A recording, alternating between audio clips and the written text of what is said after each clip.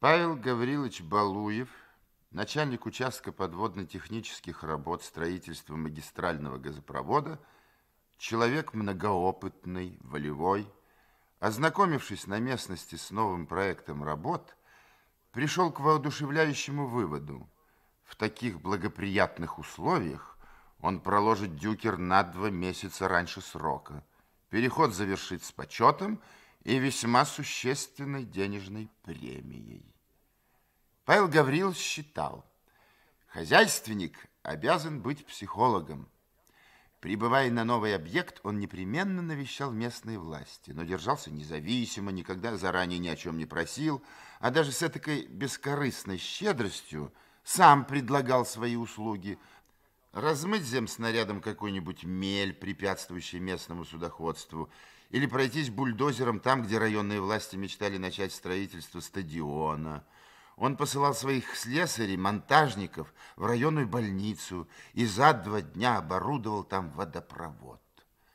Зато ко времени, когда на участке у Павла Гавриловича дело шло полным ходом, Районные власти, в свою очередь, с воодушевлением начинали оказывать ему полное содействие. Без арендной платы разрешали пользование причалами, гостеприимно открывали для строителей двери всех местных культурных учреждений. Редакции районной газеты, воспевавшие внезапное исчезновение мели на реке, появление нового стадиона и оборудование водопроводом больницы, с патриотической гордостью предоставляла свои страницы для корреспонденции со стройки и даже заботливо публиковала специальные статьи, посвященные вопросам сооружений водных переходов. Многие товарищи соглашались с тем, что у Балуева ум прицельный. Коренастый и широкий в плечах, но уже обремененный брюшком, седовласый с величественным тяжеловесным лицом, Павел Гаврилович выглядел очень внушительно. Надевая спецовку леватник, Павел Гаврилович не расставался с галстуком, который он завязывал толстым широким узлом, отчего концы, сильно укоротившись, всегда вылезали наружу. От постоянного пребывания на открытом воздухе цвет лица у Павла Гавриловича бурый, голос сиплый, остуженный. И хотя для начальника вовсе не обязательно все делать самому, Павел Гаврилович, если, допустим, возникла бы нужда, не хуже рядового сварщика мог сварить шов на трубе и, не уступая обычному трактористу, мог проработать на бульдозере целую смену. А если говорить о способности стойко переносить неудобства полевой жизни, то здесь Балуева отличало солдатское умение. Он умел выспаться до полной свежести, сидя в кабине грузовика. Плотно пообедав ночью, чувствовал себя сытым весь следующий день. Он знал, как можно зажженными обтирочными концами обогреваться в 30-градусный мороз на льду реки или вымыться с ног до головы зимой – в палатке с помощью жестяного чайника и паяльной лампы. Хрупкая и решительная Дуся, ловкая арматурщица, озорная и застенчивая, вобрала в себя властную силу своего времени. Это она, дочь кровельщика из Ачинска, отважно выхаживала душу Павла, терпеливо снося деспотический эгоизм его мужицкой натуры, недоверчивой, скрытной, но ничем не защищенной от самоотверженной доброты и нежности. Павел Балуев женился на Дусе и потом много лет страдал от уязвленного мужского тщеславия, сознавая превосходство Дуси над собой. Это ее превосходство он чувствовал и тогда, когда вместе с ней учился на рабфаке, и она помогала ему в учебе, и тогда, когда он учился в институте, а Дуся работала одевала и кормила его на свои деньги. И когда он впервые стал начальником стройки, Дуся уберегла его от зазнайства, в ущерб себе, своей любви. В главке ценили Балуева за его беспощадность к себе. Беспощадность, с которой он напрашивался на самой трудной стройке – он работал в Заполярье прорабом, ставил на берегу океана сооружения, нужные для обороны страны. Дуся работала в научно-исследовательском институте. Была она тоненькая, худенькая, с большими тревожно-внимательными глазами, молчаливая и очень сдержанная. Только когда нервничала, у нее на руках и на высокой шее выступали багровые пятна, и одно веко некрасиво вздрагивало. Но чем сильнее она нервничала, тем ровнее звучал ее голос, и тем более тщательно она продумывала каждое свое слово, и фразы ее становились строгими и даже несколько книжными. Не менялись только глаза, цвет их не изменили и годы. Как и прежде, глаза у Дуси мерцали нежной, вопрошающей мольбой, были чистые, как у подростка. Возвращаясь домой в трехмесячный отпуск, обуреваемый жаждой вознаградить себя за все лишения, какие испытывал там, на севере, Павел Гаврилович неизменно убеждался, что жена не может быть участницей беспечных развлечений на отдыхе. Беспощадность к себе, которой так гордился Балуев, была не в меньшей мере присуща его супруге. Чем больше преуспевала сейчас Балуева как научный работник в институте, тем сильнее росло в ней тревожное ощущение ответственности перед той Дуськой, которой она была когда-то, и с которой не хотела расставаться до конца жизни. Она любила ту Дуську и хотела, чтобы та Дуська стала большим человеком, чистым, прекрасным, как того и заслуживала Дуська-арматурщица, утверждавшая – при коммунизме все люди станут такими хорошими, симпатичными, что даже невозможно себе представить. Евдокия Михайловна Балуева составила себе строгое жизненное расписание. Вставала в пять, занималась гимнастикой, в половине шестого завтракала, до восьми сидела на диссертации, сорок минут в автобусе повторяла упражнения по грамматике французского языка. Из института возвращалась в семь. Два часа помогала детям готовить уроки, до десяти снова диссертация, в постели читала, делала выписки, в двенадцать гасила свет и старалась, засыпая, думать на английском, которое она уже знала очень неплохо. В институте Балуева уважали за поразительную, настойчивую тщательность выполнения всех лабораторных заданий. Но никогда она не могла преодолеть благоговейной робости, покорного исполнительства, что полностью лишало ее работу духа творчества. А что она могла сделать с собой? С той Дуськой, которая жила в ней и с восторженным восхищением трепетно замирала перед властными, царственными именами известных ученых. К себе Дуська относилась беспечно и с озорной бесшабашностью уклонялась от всего, что могло как-то облегчить ее трудную жизнь. Когда во время войны тяжело раненого Балуева эвакуировали в сибирский госпиталь, Дуся нашла его и выходила. Она не рассказала мужу, как жила с детьми в эвакуации. Институт разместили в здании пивного завода. Первое время часть сотрудников жила в землянках, Дуся переделала оконную нишу в землянке и, так как стекла не было, заменила его бутылками. Сложила из кирпичей печь, для дымохода достала канализационную трубу, которую привезла на салазках из города. Во дворе бывшей нефтяной базы собирала в ведро пропитанный мазутом снег, оттаивала его и потом макала поленья в мазут, чтобы перед уходом на работу можно было быстро растопить печь. Если человечество сочинило хвалебные гимны первым исследователям Арктики, которые жевали ремни собачьей упряжки, замерзая у костров, и в умирающем свете заносили последние записи в дневники, озабоченные лишь тем, чтобы обессмертить свой подвиг, то что можно сказать о советских женщинах, переживших в эвакуации огромное страдание, но не утративших ни себя, ни ощущения полноты жизни.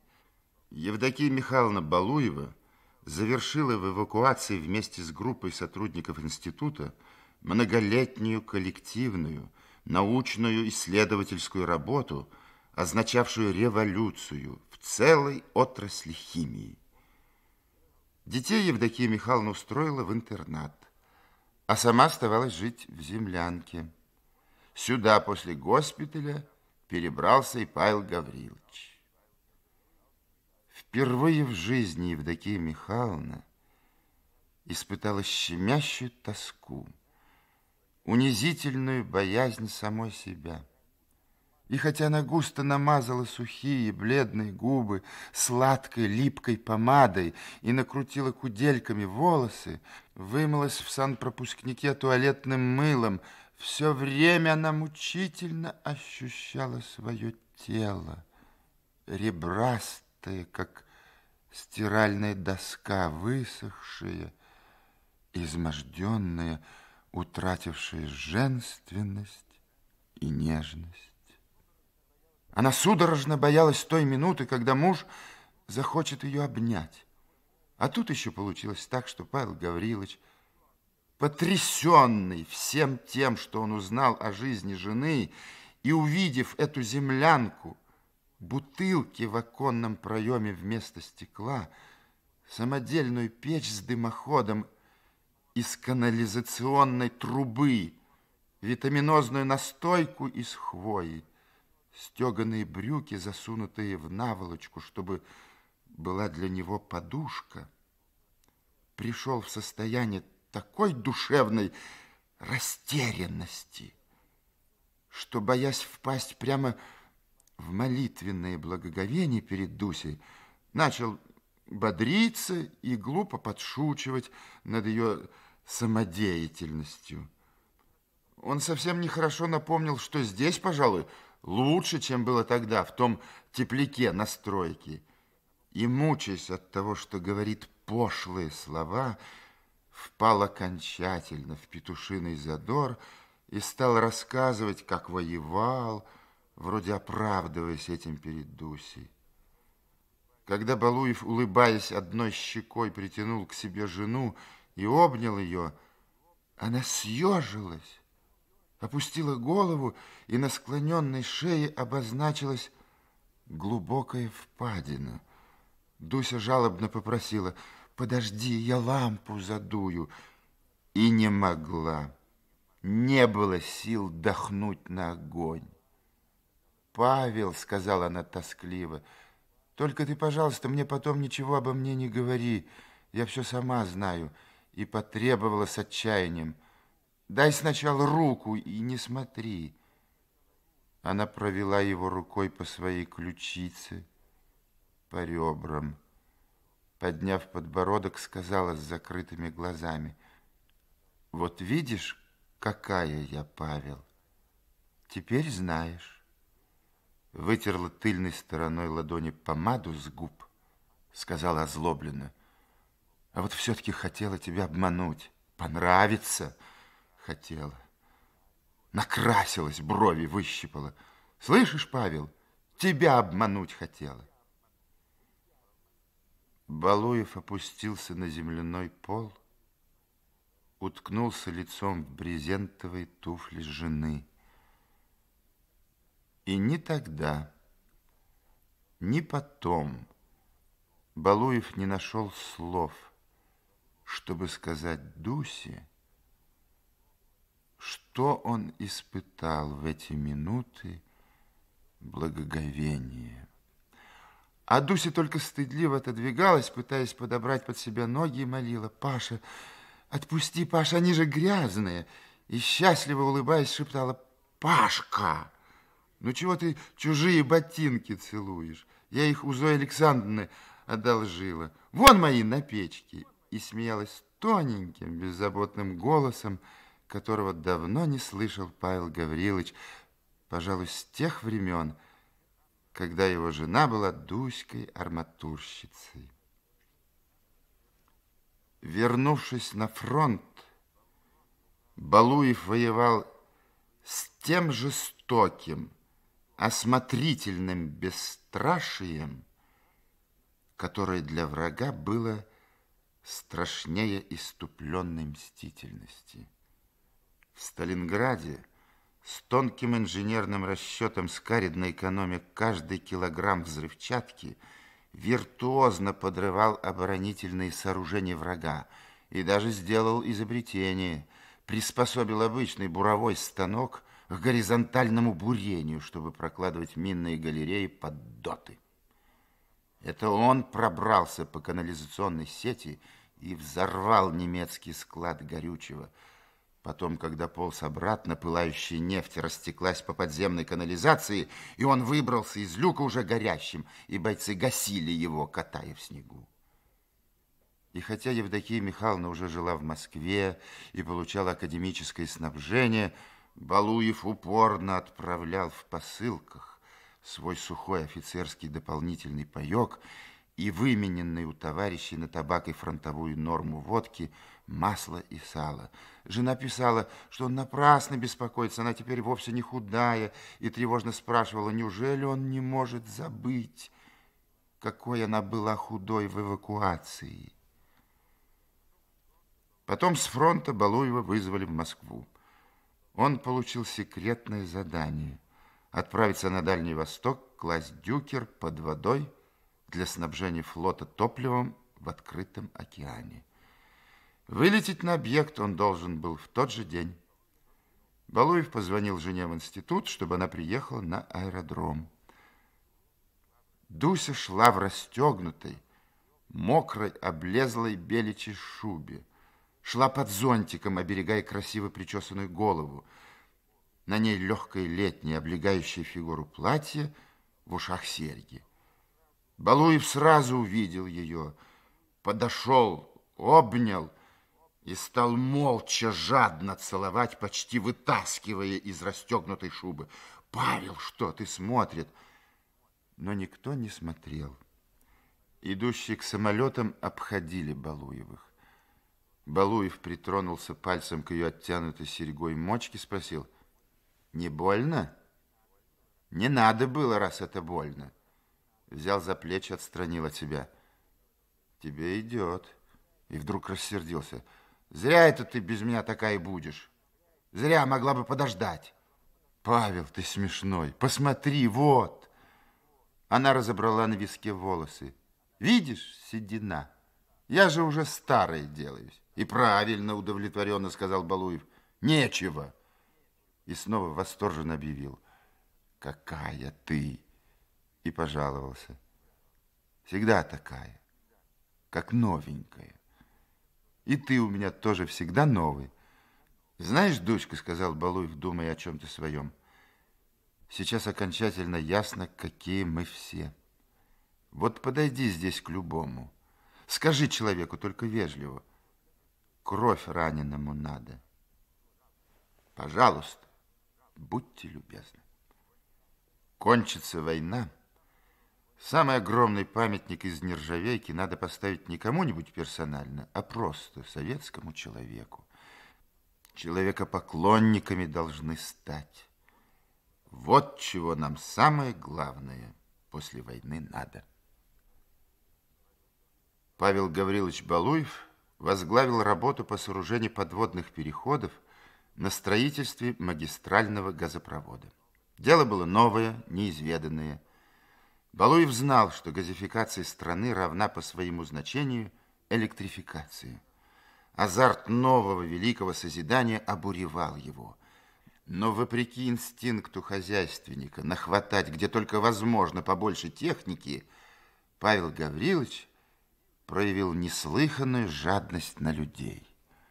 Балуев заставил отдел кадров не подбирать и проверять для него людей, а разыскивать адреса тех, с кем он вместе воевал и с кем строил в годы войны, и кого запомнил на всю жизнь. Стремительное вторжение сложной, богатой техники в строительное дело привело к большей зависимости руководителя от каждого подчиненного, ибо теперь производительность труда человека, управляющего один на один могучей машиной, стала равна труду сотен людей. Два машиниста, двух трубоукладчиков, да два машиниста, один изолировочного агрегата, другой очистной машины и один машинист роторного экскаватора заменили полтысячи рабочих. Раньше руководитель не мог влезть в душу каждого рабочего. Раньше для того, чтобы управлять людьми и понять их, он прибегал к помощи воображения, создавая для себя этакий коллективный портрет, в котором смешивались одновременно черты сотен людей, объединяемых по признаку неких общих достоинств или недостатков, изучаемых в канцелярии стройучастка по ведомостям зарплаты, графику выполнения работ и рапортам бригадиров. Теперь эти методы уже никуда не годились. Ныне возникла необходимость руководства один на один, с глазу на глаз. И чем больше руководитель проникал в особенности душевного склада, улавливал черты несхожести, знал подробности жизни людей, тем лучше удавалось ему найти к ним подход, завоевать авторитет и уважение.